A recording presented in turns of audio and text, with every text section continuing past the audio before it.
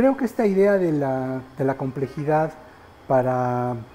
eh, para poder eh, entender, para poder abordar muchos, si no es que todos, la mayoría de los, de los problemas de la ciudad, es, es muy útil. La idea de la complejidad, o si se quiere, la metodología, las aproximaciones de, complejidad, en donde diversas disciplinas que tienen que ver o que han, han estudiado el fenómeno urbano desde muy distintas ópticas, tendrían que conjugar sus, sus, saberes, conjugar su manera de, abordar este tema con la idea de eh, formular una, solo, una sola explicación, un solo discurso, como se dice ahora. Eh, pienso que de esa forma serían, tendríamos eh, respuestas mucho más afortunadas que las que tenemos actualmente.